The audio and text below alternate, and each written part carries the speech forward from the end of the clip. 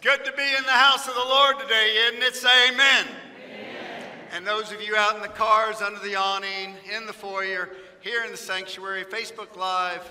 I don't know how much longer we'll be on Facebook Live. But I will say this YouTube, I, I, I tell you what, it's exciting to be a Christian right now. If you agree with that, say amen. Some of you are saying it depends on how you describe and uh, de- define exciting. Yeah, well, you got a point there.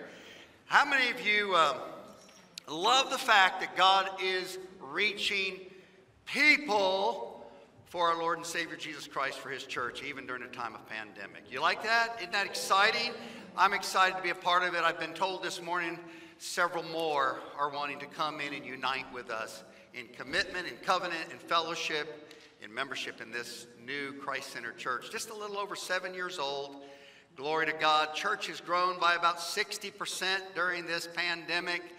I, I, I really believe, and I hate to be a prognosticator of doom, but I think this pandemic's going to go on and on and on and on and on. So let me just say this.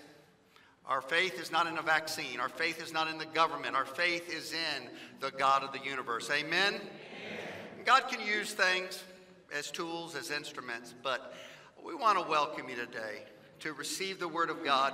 Now, last, I know some of you are getting a little nervous because you've looked at the notes and you know we covered one point last week and there's four more. But I assure you, I assure you, trust me, we're going to get through it. We're going to get through the last four points of this exciting message giant slaying, faith, I'm looking back over here. I'm, I'm so glad to see that someone converted Brennan, the guy that played Goliath last week. And he's here today worshiping with us. Thanks for doing that, by the way. Really appreciate that. Park, you played a good David last week. Uh, that worked out really well. Um, okay, so I'm trying to think of how to open this up because, again, um, giant slaying faith, we're sitting there and we're going, okay, well, which giant do we focus on that's in our life? You know, for us collectively as a, a community, say, well, do you focus on the giant of the pandemic? And, and that's real. Or, or do we focus on the giant of uh, maybe financial downturn for some within our fellowship? You know, health issues. I mean, do we, beyond that, just normal aches and pains and things we're confronted with, do we focus on that? Do we focus on the relational giants that have crept into our life? No, I think in the end, our focus is not on the giant or giants. Our focus is on none other than our Lord and Savior Jesus Christ in God, right? Amen. And if we keep our focus on God, and we'll talk about as one of the points today, if we keep our focus on God and our trust in God, we're going to make it through. We're, we're going to be able to exercise that giant slaying faith. How many of you brought your Bibles today in written form or electronic form? If you did, raise them up high. Let's say it like we mean it. I believe the Bible is God's Word. Inerrant, infallible, inspired, authoritative, relevant. I will, by God's grace, obey it and apply it to my life today. And all God's people said, Amen. Well, I am thrilled. I'm excited, delighted, exhilarated, motivated, fired up to bring the Word of God today. Now, if you see me acting like an old man, it's probably because I am. I'll be 60 this month, as many of you know. Give me the cane stories. Give me the, I'm going to need a walker stuff. Bring it on, baby. But anyway, if you see me hobbling around crippled today, it's not because I'm turning 60. It's because I worked with some of the finest young adults my wife and I did yesterday. We put two coats of paint on the inside of the young adult building. We got about half of the outside done. Young adults, if you were here yesterday, stand up right now. Congregation, give them a big round of applause. I'm looking, I'm looking, Angela, you are a young adult. You should have stood up. You were here, right there. She was out here. Uh, she was my chief of staff. I was spray man. Thank you to the young adults that assisted pulling hoses, filling paint pails up. It was a lot of fun. Um, so, anyway, Word of God, I want to open up the message with um, this giant that is probably bigger than any other giant of all. And it is the giant one day that we will all face, and it's the giant of death. Because if you hadn't really observed or hadn't really thought about it, there's something we have in common that we all die. And um, as King David talked about, he says, This life is just kind of like a vapor, like a shadow. It's just really brief. And we all die. And that's a huge giant. The good news is that through faith and trust in Jesus Christ alone, we literally can avoid eternal death and damnation in hell separated from God. Amen? So if you're here today and you do not know the Lord Jesus Christ personally, there is nothing that I say today that will be more important than what I'm saying right now to you. And that is that Jesus Christ offers deliverance from the giant of eternal death. Amen. And I'll tell you clearly how you can slay that giant of death through faith in Jesus Christ. I'll make sure and clearly do that at the end of the service. Last week we looked at giant slaying faith is necessary to slay the giants in your life. And, you know, if you stop and think about it, um, it was that great epic battle between David and that giant, that real giant, Goliath, nine foot, nine inches tall. Let's pick it up in verses 26 through 28. I'll read aloud, you follow along. Then David spoke to the men who were standing by him. What will be done for the man who kills this Philistine and takes away the reproach from Israel? For who is this uncircumcised Philistine that he should taunt the armies of the living God? The people answered him in accord with his words, saying, Thus it will be done for the man who kills him. Now Eliab, his oldest brother, heard when he spoke to the men. And Eliab's anger burned against David. And he said, Why have you come down? And with whom have you left those few sheep in the wilderness? I know your insolence and the wickedness of your heart, for you've come down in order to see the battle. From that, what I see, what we can extract, what we can exegete from the Word of God is that giant slaying faith is often misunderstood. Maybe you've seen that in your profession. How many public school teachers do we have here in our midst? Okay, several hands going up you know, sometimes it's hard for you as a Christian, a champion, to live out your Christian faith in a very uh, positive and professional way in the public school system. And your faith, quite frankly, your giant slaying faith is just flat misunderstood. And maybe you're a young person and you're involved in school, elementary school or high school, or you're in college. And uh, your professor just really misunderstands your faith. Uh, he or she doesn't get it that you are a child of God, that your highest uh, guidance for you in your life is not a secular education, but is the King of Kings and Lord of Lords, Jesus Christ. That your highest authority given to you by Christ would be the Word of God. And this takes precedence over any human textbook that is issued to you.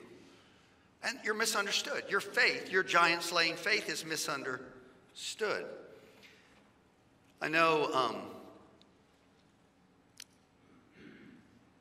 David, all David wanted to do was to stand up for God's righteousness, stand up and defend God's honor. And his older brother, who should have known better, ridiculed him, shamed him. Said, Who have you left those few sheep with? You have a little insignificant job, little brother, taking care of a few scraggly sheep. We're out here doing what's important. We're out here fighting for Saul and for Israel. I think Eliab may have been harboring a little bitterness that he was passed over by the prophet Samuel as God's pick. You see, God passed over Eliab Eliab, it sounds like from the account earlier on the previous chapter, he was tall and he would have been a human pick for somebody to be the king in Israel. He was passed over. God said, No, I've not chosen him. And I've not chosen the next oldest brother and the next oldest one, the three that were right there fighting uh, next to Saul. And they, the older brother just attacked and misunderstood David's faith. He said, You're just wanting to be a spectator. You're just coming out here to enjoy the show, to gawk. And he described his faith as stemming from insolence and wickedness of your heart. Your faith, Christian, is often misunderstood. But it's what we do when our faith is misunderstood. Do we cave or do we stand up and with a love in our hearts and resolute and we're resolving that we are not going to waver? I think God wants us to stand up. And God wants us not to waver, even when our faith is misunderstood. And that misunderstanding may even come from people in your own family. Number three. Oh, no, wait. I got to share this. I found this. It's just awesome. Uh, in fact, I think Kristen, my daughter, gave me this one.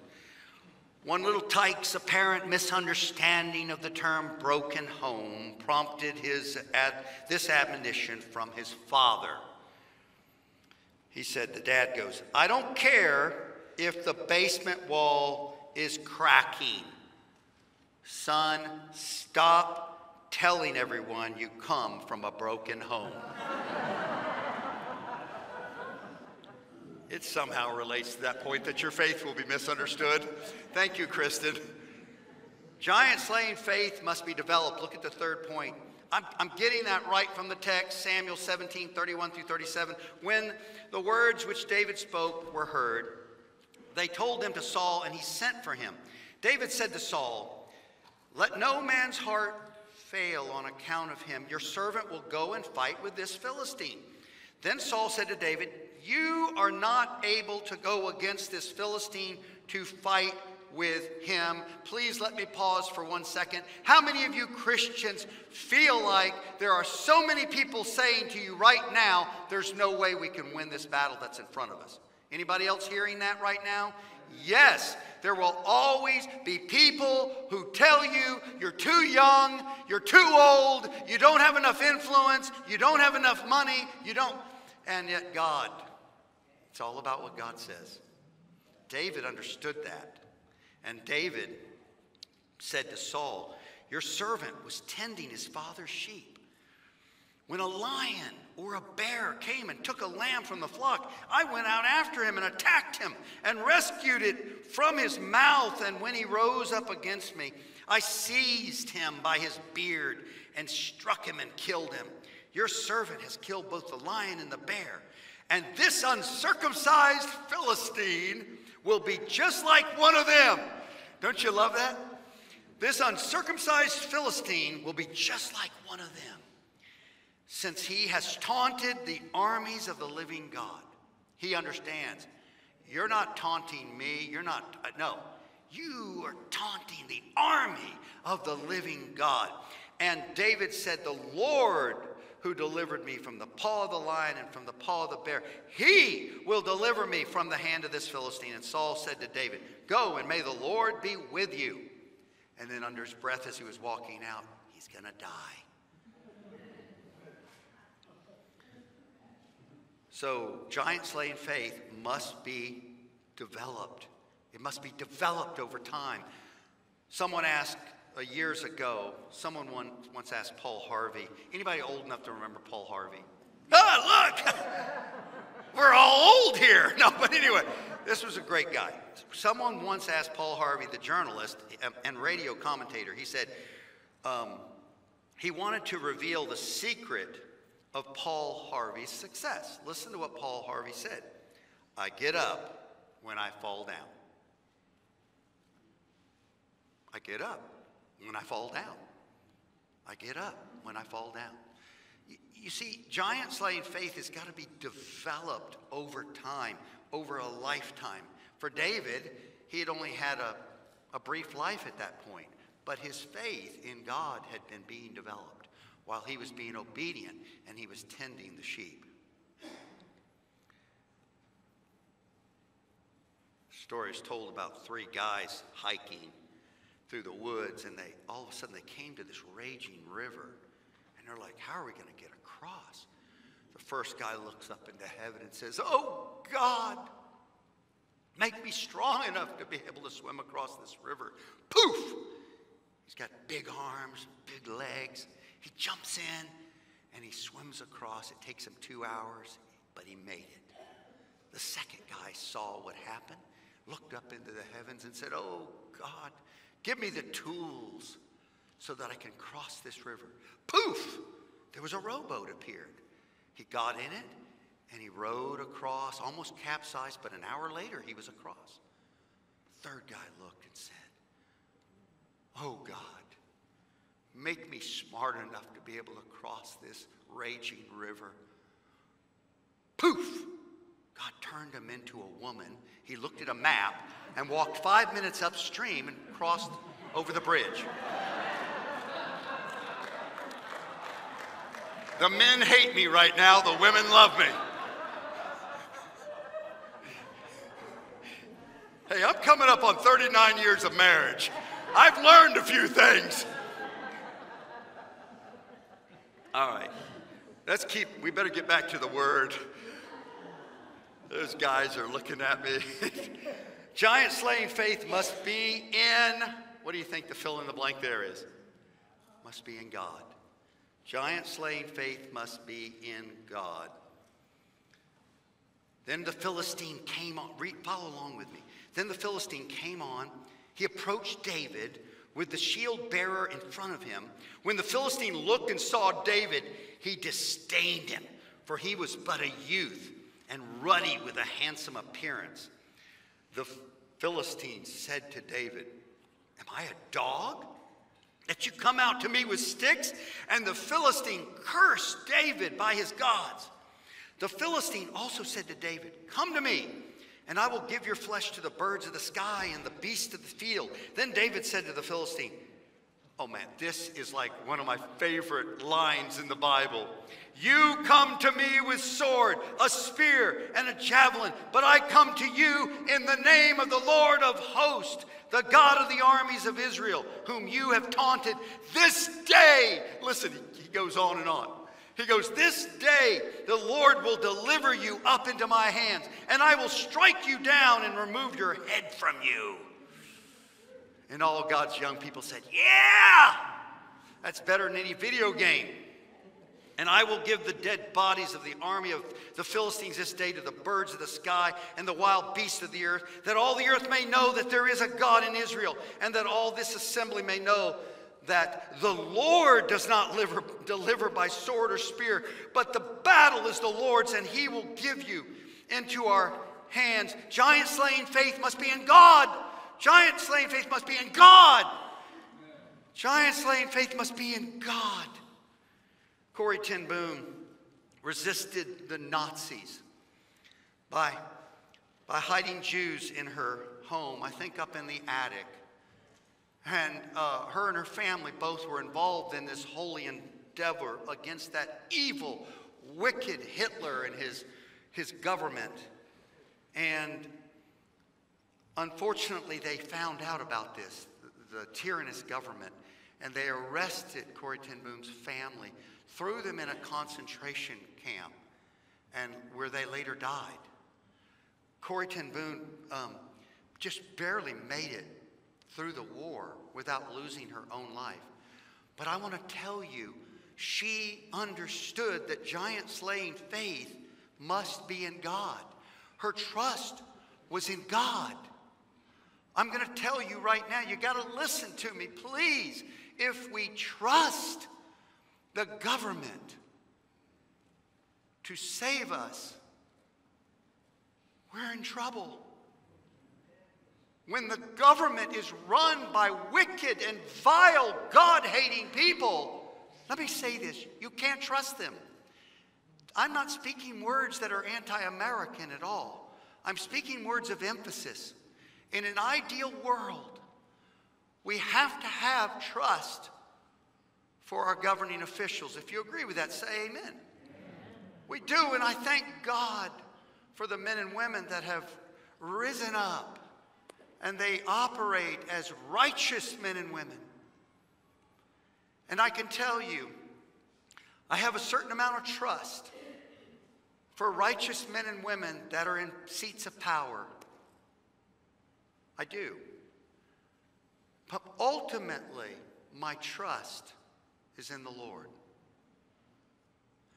And, and I think if we're not careful, congregation, in this turbulent time for our nation, as our republic hangs on by a slender thread, and I don't say that lightly, please do not make the mistake of trusting people who are gaining power.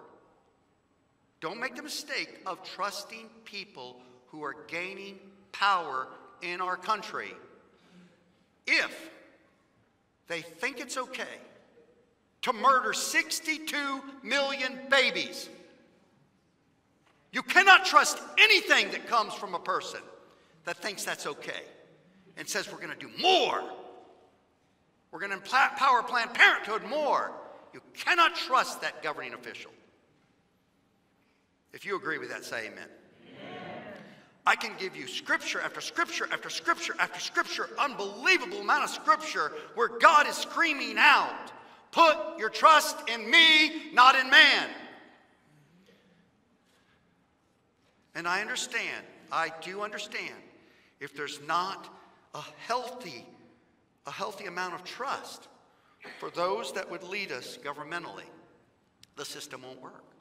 I get that. I get that. That's why we got to be salt and light. That's why we got to work hard. We got to pray hard. We got to get involved. We got to get engaged. But ultimately, the point there in your notes comes right from the Word of God is giant slaying faith must be in God. Must be in God. Oh. Turn to the last page in your notes.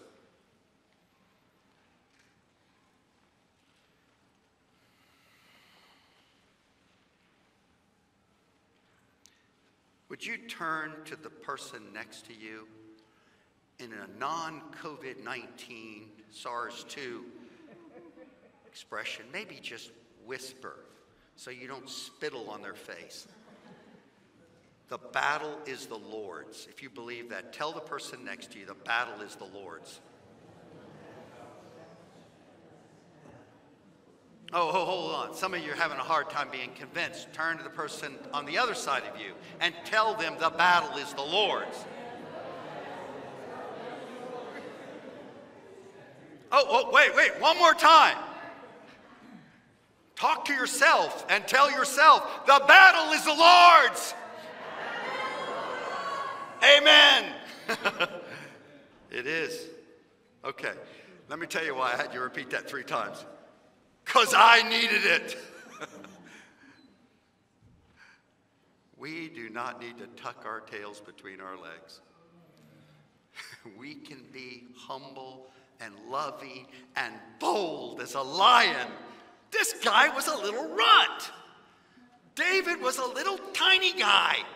And yet, he knew that the battle belonged to the Lord. And so he stood up against that giant Goliath and he won. Okay, if you are a life group teacher for any age group in our church right now, stand up. If you're a life group teacher for any age group, stand up. Stand up. Don't be bashful. Yeah, stand up. Stand up. Are we getting everybody standing up? There you go. Look around, y'all. All right, y'all can be seated. Listen, if you trust one of your life group leaders to teach you the Word of God and lead you towards Christ, you're in good shape. I want to tell you, these folks have been vetted. You're in good shape if you trust them to teach you the Word of God, if you trust them to lead you closer to Christ, I believe there's warranted trust for them with the highest authority for the Word of God. But I'm going to tell you right now if you trust one of these wonderful life group teachers to pilot a 747 across the Atlantic, you're going to die. you're all going to die. You guys may love me and have a lot of trust for me as your pastor, and I do have a doctorate, but it's not a medical degree, it's a PhD. If you trust me to take out your appendix, you're gonna die. You're all gonna die. So, the object of our faith is so important. We got to seal this in our brain. The object of our faith is important, and the object is God. God is not a man that he should lie, neither the Son of Man that he should repent. Hath he said it, shall he not do it? Hath he spoken it, and shall he not make it good? God, and God alone, is trustworthy. My wife looked at me uh, the first few months of marriage, and she's almost 39 years ago, and she said, she quoted a psalm to me. And essentially, the psalm was instructing my wife don't put your trust in a man. Don't put your trust in men, mankind, but put your trust in God. I'm going to be honest with you, men. That made me feel very uncomfortable. Why? Because, men, you know what I'm getting ready to say. Because I wanted my wife to feel I am Superman, that I'm invincible, that I can protect her, that I can provide for her, that I can do all those things. You can trust me. And then she quotes this psalm to me. By the way, she has borne out to be the greatest, most godly wife I could ever thank God for. But let me tell you something the longer I've lived, I may be a very trustworthy man, but I'm glad she's got it right. That ultimately her trust is not in me, her trust is in the Lord God. And that's so important. If you don't understand that, ladies, or you don't understand that, Gentlemen, if you don't understand that, here's what happens. See, only God with 100% certainty can say, I can protect you. Only God with 100% certainty can say, I can provide, I will provide, and I will meet all of your needs. See, what can happen, and I know it sounds terribly morbid, but it's true. You ready? I'm one heartbeat away from leaving my wife.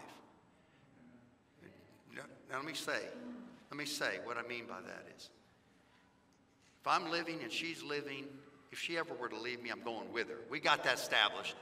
Divorce is not an option between me and my wife, but what I mean in terms of life and in terms of death, none of us are guaranteed another heartbeat, right? And so if her trust is really in me above the ultimate trust in God, she'd be devastated. And by the way, I know she would miss me. But if she's got it right, she's got it right, she'd make it through. She could make it through anything.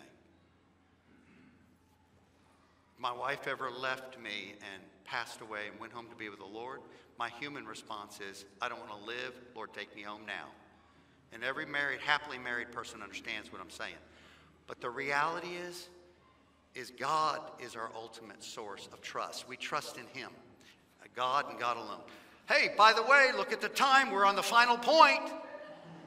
Just remember, it took me a whole sermon to develop one point last week. Giant slaying faith is contagious.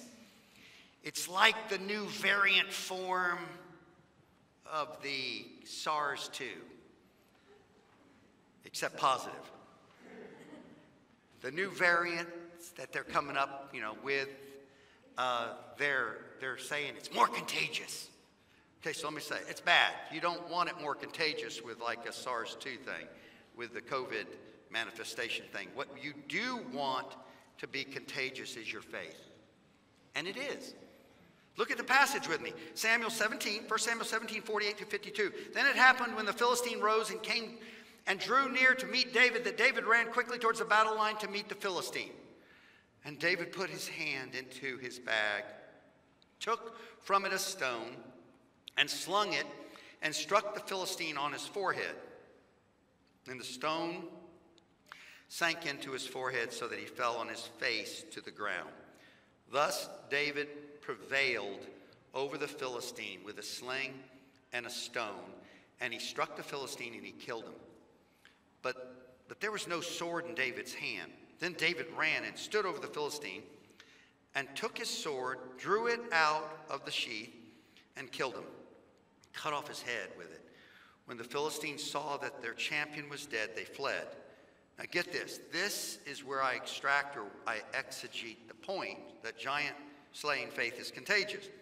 Verse 52 The men of Israel and Judah arose and shouted and pursued the Philistines as far as the valley and to the gates of Ekron. And the slain Philistines lay along the way to Shaaraim, even to Gath and Ekron. So what happened? Saul and, David's brothers, Eliab and the other two, uh, they're all cowering. They're all afraid. Their hearts are filled with fear. But when a young shepherd boy named David, whose trust was in God and God alone, who was more concerned about God's reputation than even his own, when he stood up in faith and he acted on the faith, what happened? It emboldened the faith of these cowardly children of Israel. You don't underestimate the power of your faith parent to impact your children in ways you can't even comprehend. Your faith, your act of faith and obedience, yes, during a time of pandemic, to obey the Lord Jesus Christ and gather together in one place at church, the ecclesia, for your faith responding or, or resulting in obedience, your kids see that and they say, Dad or Mom or Dad and Mom. They're not cowards. They're following the Lord. I'm going to follow the Lord, no matter how hard it is. Your faith is contagious, parents. Your kids are watching you, they're listening to your every word. They don't look like it. They're like, whatever. Okay, they're not saying whatever anymore. They're just kind of ignoring you and going back to their stupid smartphone, which you're going to get censored on in a few more months. Giant slaying faith is contagious. Okay, hang on. Young person, you're at school. Maybe you're doing it online, but some of you are back at school and you're at school. And, you know, nobody seems to be talking about anything to do with faith in God. They're talking about weird stuff, you know, and, and all of a sudden you step up and you speak up in the name of Jesus and you exercise faith. You think you're not influencing someone, but I'm telling you, your faith will spread. Your faith will be contagious. There will be some around you that hear your faith and it will grow their faith, and then they're going to get bold. Some of you are having a hard time believing that. So I was newly married, and believe me, I took seriously that idea of providing for my wife. So I was working 60 hours a week at Florida Power Corporation, and I mean, I worked hard there was a young man there named Chris. I can use his name because it ends positively.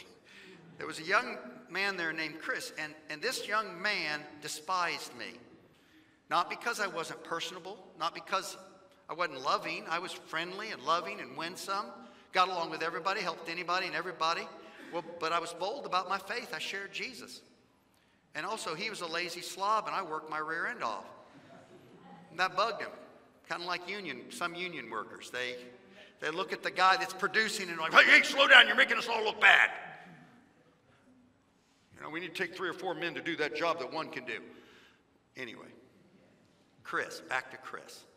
So I exercised faith. I never wavered into faith. I was persecuted. He led other men in the plant. When they were looking at their girly pictures, and they'd pull them out during break. Sorry. Evil, wickedness, lust, pornography. It was bad. I stayed away from it. They made fun of me, accused me of being effeminate or whatever. They had their fun. That's all right. I blessed them in the name of Jesus. Called them perverts under my breath. I didn't really, but I thought it. But anyway, here's what happened. Years later, Angela said, You're never going to believe who's contacted us. You remember that guy, Chris? Anyway, this guy somehow tracked us down and Man, he was so impacted by my words of faith and the way I lovingly presented it. Guess what happened? This guy got saved and he was a preacher. He became a pastor. Isn't that awesome? Giant slaying faith is contagious. We must act on our faith even when it seems all around us people are not. Peter would have never walked on water if he had not stepped out of the boat. If Peter just took one foot and touched the water and kept one foot in, he'd have never walked on water. We got to act on our faith. We got to get out of the boat as an expression of faith. It's one thing to talk about it in the security of this space at Stepping Stones, it's another to live it out and to express it. I'm telling you, we got to jump out with both feet to live for the Lord, to serve the Lord. Now, I mentioned at the very beginning that perhaps some have come and are part of this service today and and you don't know the Lord Jesus Christ personally, there's maybe never been a time where you've asked the Lord to forgive you of your sins. The reason the members of this church gather and get equipped and do what they do and give and why we do all that is we want to see more people come to Christ, to faith in Christ. We want to see more people becoming fully devoted followers of Christ. So right now, on behalf of this congregation, most importantly, on behalf of Jesus Christ. If you don't know the Lord Jesus Christ, personally, if you've not asked Christ to forgive you of your sins, then the biggest giant in your life right now is that giant called eternal death. And one day, if you die in your sins, if you die without accepting Christ's gift of forgiveness, you will spend all eternity separated from God spiritually dead, spiritually dead in hell, but very much so alive and able to experience pain the pain of fire, the pain of being tortured forever without relief. And the Bible says, whoever will call on the name of the Lord can be saved. The message of Christianity is a positive one, it's represented by the cross. And Jesus Christ died on the cross to pay for your sins and my sins and for every sin ever committed. But it will only apply to our lives if we individually accept it. Let's bow our heads and close our eyes right now, please. If you're here today, maybe you're listening to this over the airwaves, but if you don't know for sure that all your sins are forgiven, if you don't know for sure if you were to die today, you'd go to heaven, uh, you've got that big giant of eternal death looming over you. I'm asking you to accept Jesus. You say, How do I do that? The Bible says if we confess our sins, that God is faithful and just to forgive us of our sins and cleanse us from all unrighteousness. The Bible further says that whoever calls on the name of the Lord will be saved. Listen, you are a whoever. Each of us are a whoever. Just put your name in there and call on the name of the Lord, and you will be saved. I can't save you, this church can't save you, but Jesus can save you, and He will save you. If you want to receive Christ, do it right now. Pray something like this Pray this prayer of salvation. Say, Lord Jesus, I don't want to die for all eternity in hell separated from you. I'm asking you, Jesus, take away my sin and to give me eternal life. Save me, save me, Jesus. I'm trusting in you alone. Thank you, Jesus, for saving me. The heads bowed and eyes closed, no one looking around. If you sincerely prayed that prayer of faith and you meant it, right now, slip your hand up. Slip your hand up right now. In the sanctuary, wherever you are, God bless you. Put your hand back down. Thank you. Is there someone else? Maybe you've received Christ by watching this on Facebook Live or YouTube. Contact us. We want to share with you some information that will help you grow in your newfound faith. Christians, still heads up, bowed, eyes closed. Christians, giant slaying faith. It's got to be developed. Would you, anew and afresh, just reconsecrate your life? to walking as a man, a woman, a young person of faith, exercising that giant slaying faith like David did, would you recommit to do that? If so, quietly slip up your hand right now. I want to pray for you. Raise your hand up, hands going up all over. God bless you. I see your hands. Father, in the name of Jesus, bless us all with uplifted hand who are desiring your supernatural divine help in living out our giant slaying faith, being empowered for you because we recognize the battle belongs to the Lord. Thank you for growing our church, Lord God. And it's in the peerless and matchless name of Jesus that we pray. And all God's people said, Amen. You may look up. In just a moment, we're going to uh, continue to worship the Lord with tithes and offerings. I want to thank you so much for your faithfulness, congregation. It is amazing what God has been doing during this pandemic in a time when they when they're projecting that thousands and thousands of churches will basically bankrupt or go under because of this pandemic. In a time like that, I report to you that the finance team tells me the receipts are up in our church. And I want to tell you of God's goodness. In a time of pandemic, not only have all the needs been met, and y'all have seen it. You've seen us help out family after family after family who've lost their jobs because of the pandemic. And we as a church, a community of faith, help them out financially. You witnessed that. You saw that. Some a little, some a lot. But this church, your church, God has empowered us to do that, and we've done that. But if you'll look out, that awning and that covered in area that's still considered outdoor space for outdoor worshipers, life groups have been meeting out there. That was paid for with cash because of the faithful giving of this congregation.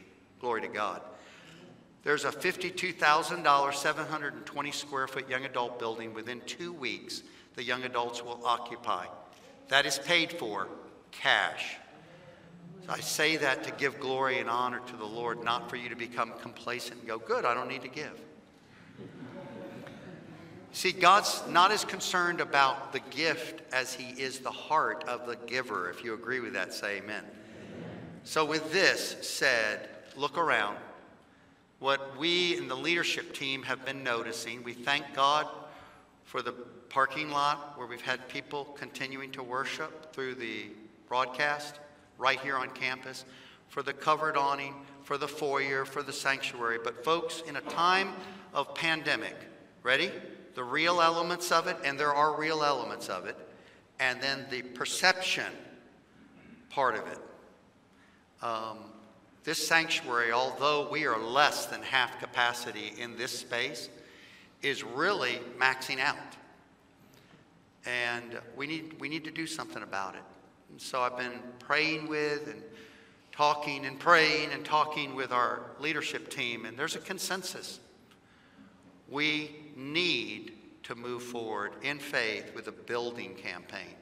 Right behind this building here, we need to put a Christian life building in. Um, it's not going to come cheap. We'll do our part to have the cost down as much as possible. We know, you know how we can stretch a dollar in this new church, but we need money.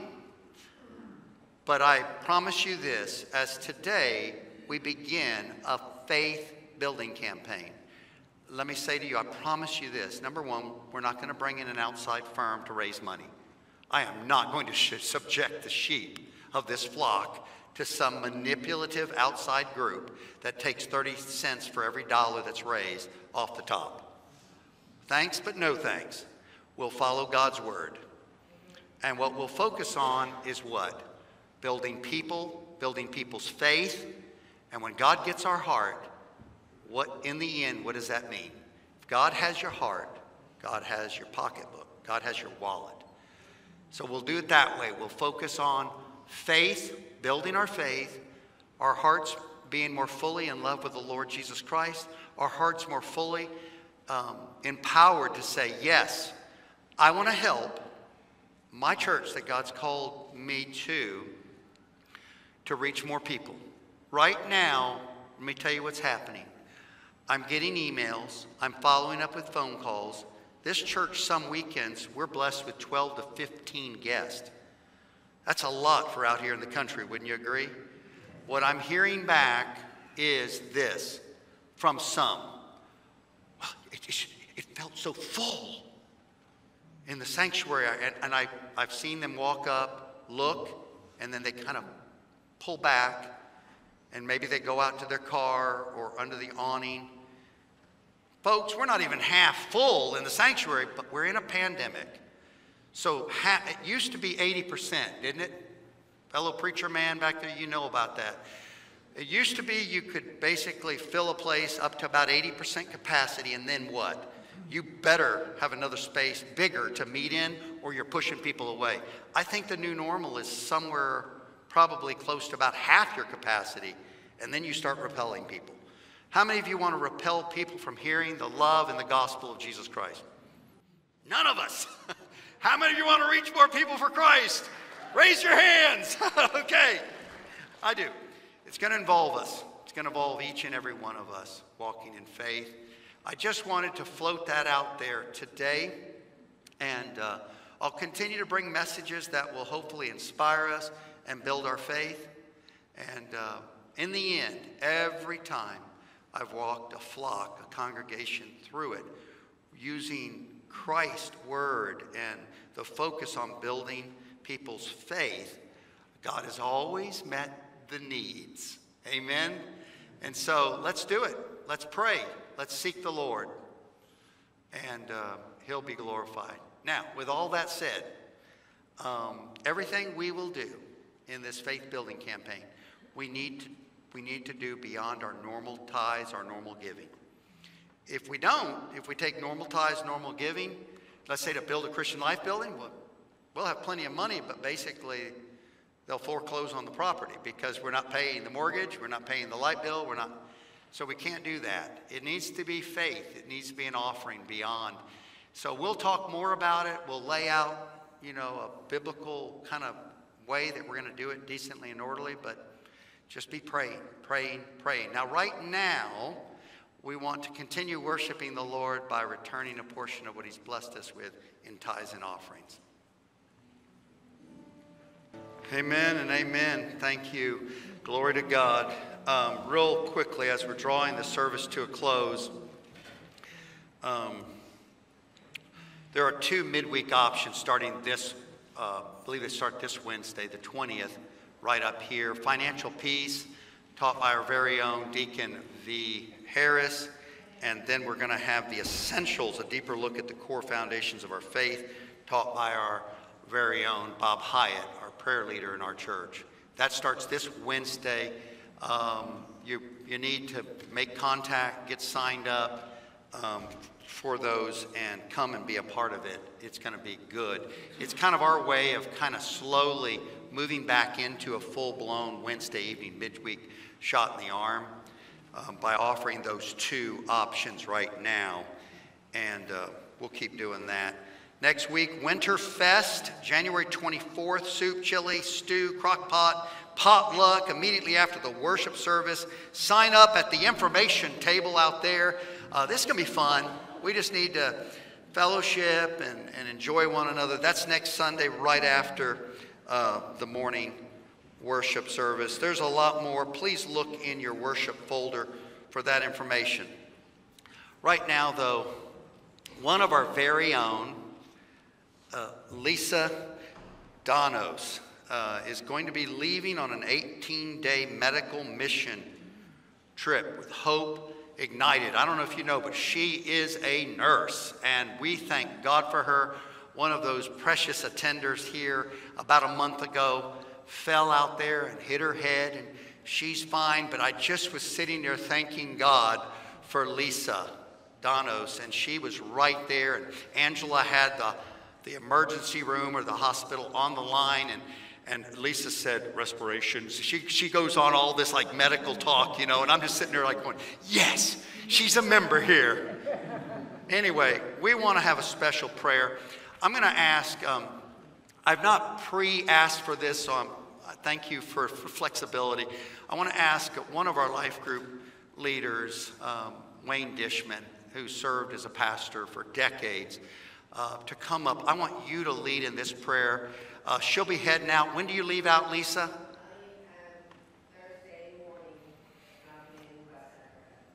West Africa for 18 days.